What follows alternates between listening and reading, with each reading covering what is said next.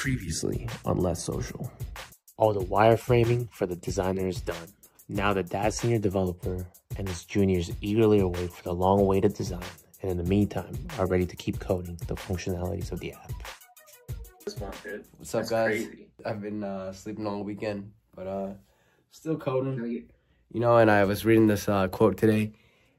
Any fool can write. Uh, any fool can write code that a computer can understand. Good programmers write code that humans can understand. So I'm just trying to make it uh, so that other people can read my code. So yeah, let's keep going. We're doing Let Phil Social, mobile. I got um, I got a little bit of the wireframe, low fidelity designs done. You know, I know I'm gonna have a, a top tab sliding thing here, where there's many tabs. I mean, I know there's gonna be something here, and then uh, there's gonna be a view switcher here. And I know I want some animations where maybe right now the scrolling will kind of have animation to hide some stuff on the top. And I know that I'm gonna have a chat room, and that's about it for now. But we'll keep on moving along. We're just waiting on the design, so there was a little bit of a hiatus. Yeah, just time to get back on the horse, get to the finish line. Uh, the vector icons, bro. That was the that was that was um, so difficult because it was a it was a pure dependency from React Native Elements, and uh, it seemed like everything is out of date, Mm.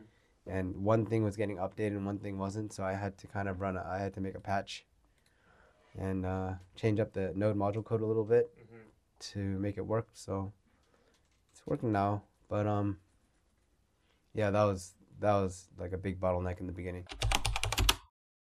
Um, oh, we're in we're in March now, so actually this is a good time where we can look at the Trello board and start moving things to finished, right? So let's take a look. I think tonight I'll probably finish the uh, social logins. Okay. So uh, I think home screen is ready for QA. React navigation's done. React admin. I'll talk to Jocelyn. I think she's done with it. In init admin panel. I, I know is done. Whoa, this is bugging out on me. Hold on. All right, we did the load the animation. Uh, check if email exists endpoints done. API service stuff done. Persist login state stuff is done. Register screen, I think it's pretty much done. Create user endpoint stuff is done. React hook form validation done. We set up Zod. Set up the user model. Forgot password screen done. Set up async storage done. Global state management with Redux done. I think some stuff is still being done with i18n. Um, I'll take that over. Oh, this is finished too. We got a lot more stuff done in 2025 uh, in January than February. I'm pretty happy about it. We keep on going, but uh, the ones that I want to do tonight are probably the social login stuff. So those will probably be done by uh, next time. Microsoft login, I think that's what Song said is like popular in America.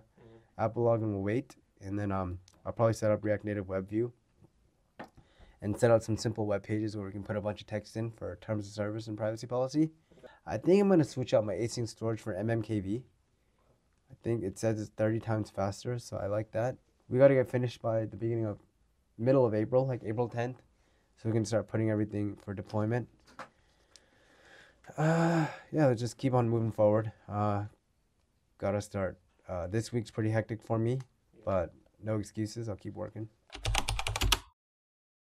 Uh, just working here. Uh, it's getting pretty late.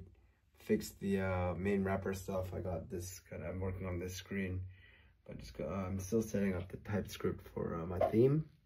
So just gotta keep working, get it done. Um, see you in the next one. Oh, with the initial main wrapper, I think in the uh, in the debug mode, I just set everything to center, and I had a couple things where I was having padding for like the safe area view, but I realized React Native Elements does the padding for me. So uh, I was double, I was double adding padding everywhere.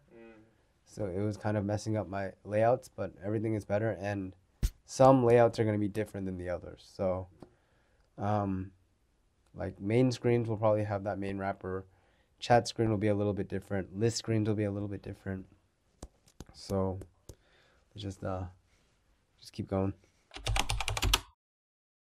Um, definitely, I think past experiences help a lot because, um, you know, it's not the first first rodeo or whatever. It's um, I know maybe how something should look, or uh, something should work, and uh, I have an idea, but we haven't even gotten that deep yet. So a lot of it is just setting the project up and making sure like, you know, any redundant code you just do it once, like a wrapper or something, and uh, just follow some like patterns and stuff, and uh, you know, a code base it should be very consistent. There shouldn't be anything very random.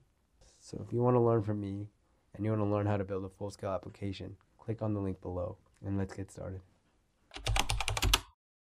So the steps that we can do while uh, we're waiting for the design is just uh, maybe functionality. You know, um, that's why I'm talking about social login. We can set up like the web view, the image picker. Maybe we can start uh, making some kind of form to post something to the database uh, retrieve the posts and things like that. Just set up the you know low fidelity wireframe designs. Hey, what's up, guys? Just uh, having a second meeting with uh, Ross right here. Gonna show him um what I built so far and the wireframes and um see where it goes. So it depends, right? Because there's a lot of like design work and then there's a lot of um, functionality work. But what we can do is all the functionality work, but make sure it doesn't mess around with any of the design work that might come in. So it's like a great balance. But um, you know, we know that we're gonna post something to the database. We know that we're gonna have comments. We know that we're gonna have replies to comments. You know, we know we're gonna have replies to replies. So we're gonna have to figure that out. We know that we're gonna have some onboarding screens. There is a bunch of work to do, but just put those steps in place to wait for a design. But once the design comes in, implementing the design, it also depends on the design, right? Right. But I'm kind of hoping if the design system is correct and everything is good, you know, it should be easy to implement. You know, it should take no longer than, you know, three weeks. Uh, just going through the code base real quick. Um, so I don't think I really did this before, maybe with um, the whole code bases. So we have let social backend cd uh, dot dot slash let social admin. Alright, so we're using um we're using a bunch of code here. Um, React admin. Think we did kind of. I think I did show the code. Maybe this is gonna be a little bit redundant, but for some of you, but you gotta know that there are new viewers too. So we're using something called um this Moleculer data provider, which is gonna because Moleculer comes up with like all these like lists and get actions that um we can use here, and we're using something called React admin, which is very good. We have a user service, but each of these that are running are gonna have be running in their own Docker container. So we have our create function, we have our um, we have our exist function, we have our update function, we have a bunch of stuff here. Um, we have our methods where we're running our function for our factory function, and we have our me. Uh, we have a resolve token that we use in our, and we're using Firebase in here. So I made a Firebase mixin. So that Firebase mixin is uh, just taking my Firebase admin key and uh, setting up some Firebase admin um, functions to be used within my code base. So that is what I'm using here, and then um, we'll just keep going there. And here I'm gonna be able to send um, push notifications and all that kind of stuff through the server.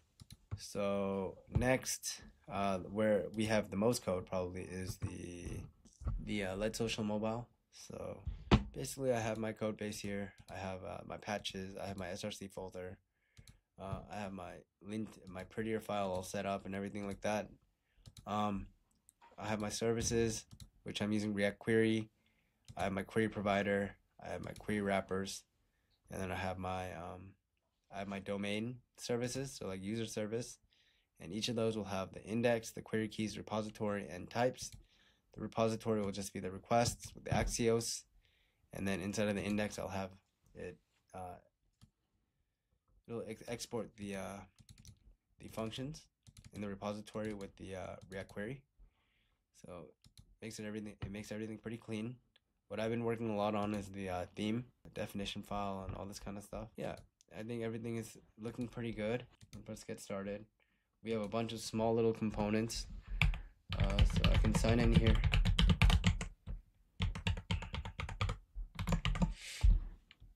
sign in. So sign in here, and then I, I'm gonna make some little tooltips here, where um, it's gonna give you some information about what these are actually doing. I think that's gonna be like all around the app to kind of give people instructions. Yeah, the app is looking pretty good. It's uh, at a pretty cool state, and uh, hopefully it'll be um, more done by the next time I see you guys. So right now we're working on three code bases. I do need a landing page. I do need um, a web client as well. So I'm just gonna keep moving forward. So some thoughts I have on upcoming like challenges is just like, you know, we might get rejected from the App Store or Play Store, and you just have to, you know, make sure your permissions are correct. You know, um, maybe something with like push notifications has changed. I have to set that up. Um, yeah, we don't even have an Apple developer account or a Play Store account yet. We have to get those set up. We have to set up some um, kind of fast lane stuff. You know, it's just like programming is always changing and the documentation is always changing. So I have to read it over. And I'm not, you know, I used to know how to do it, but maybe I don't know how to do it now. So I have to read and, you know, get all that done. And um, whatever happens, happens. And you think on your feet and get it done. So if you want to code like me and the way I've done it, click on the link below and join the mentorship program. And if I can do it, you can do it too. Coding saves lives.